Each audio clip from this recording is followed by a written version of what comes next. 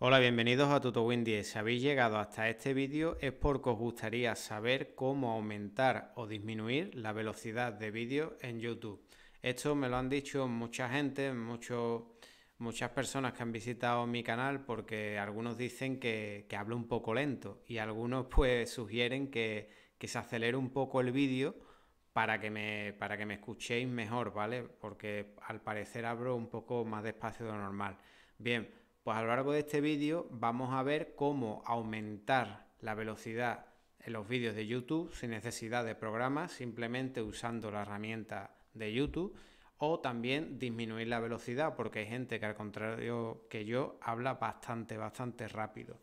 También esto está bien pensado para aquellos tutoriales que sean largos pero que no te quieras saltar ningún paso, pues acelera un poco más lo que sería la velocidad y la puedes ver un 20, un 30 o un 40% más rápido.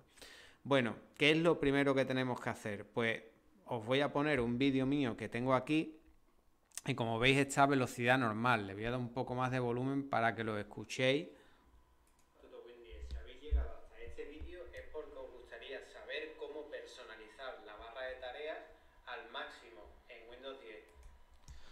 Bien, pues como podéis haber visto, pues bueno, mejor dicho, escuchado, esto sería la velocidad normal de un vídeo de YouTube. Pues vamos a acelerarlo. ¿Cómo se hace esto? Bien, pues si ponemos el cursor encima de lo que sería cualquier vídeo de YouTube, veremos que aquí nos salen una serie de herramientas. Aquí estarían los subtítulos, aquí la configuración o ajuste, mini reproductor, modo cine, ver en televisión o a pantalla completa. Bien, pues le daremos a configuración.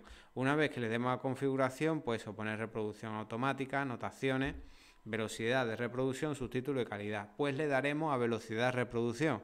Tal y como podéis ver, está es normal. Pues si le damos aquí, aparecerá esta lista, ¿vale? En la cual podremos aumentar un 1.25 que sería un 25% la velocidad del audio y del vídeo también, eh, un 1,5 que sería un 50%, 1,75 sería un 75% y un 2 pues sería un 200%, ¿vale? De esta manera pues aceleraríamos bastante lo que sería el vídeo.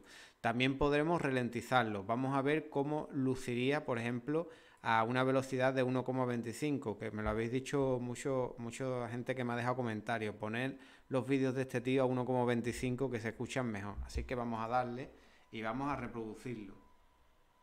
Y bueno, tal y como digo siempre, en este vídeo voy a enseñar cómo hacerlo fácil y rápido, pero sobre todo, lo mejor, gratis.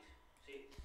Tal y como podéis ver, pues la verdad es que, no sé, va un poquito más rápido de normal, pero bueno, vamos a ver ¿Cómo sería a 1,75?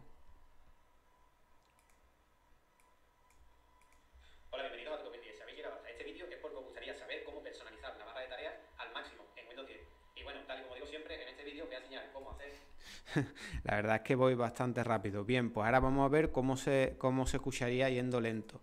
Vamos a ponerlo a 0,25.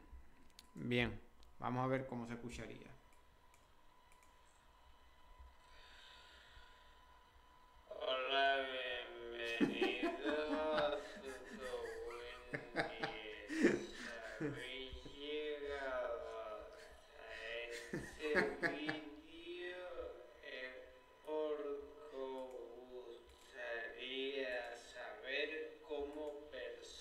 Vamos, vamos a acelerarlo.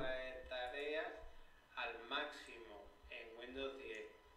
Y bueno, tal y como digo siempre, en este vídeo Bueno, pues ya está. Y ya por último, hay una manera de personalizarlo para que podamos poner la velocidad que queramos, que si nos fijamos justo aquí arriba a la derecha pone personalizada, pues nos aparecerá esta barra y tan solo tenemos que desplazarla, ¿vale? Si por ejemplo veis que yo hablo un poquito lento, pues y a 1,25 no, no, se me entiende, pues puedes poner a 1,15 por ejemplo, a ver qué tal ahora.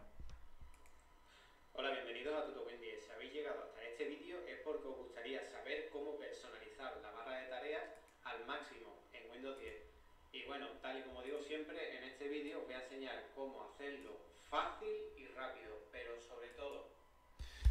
Y ya está, en verdad no tiene más. Para ponerlo tal y como debería la velocidad normal, pues lo ponemos en normal y listo.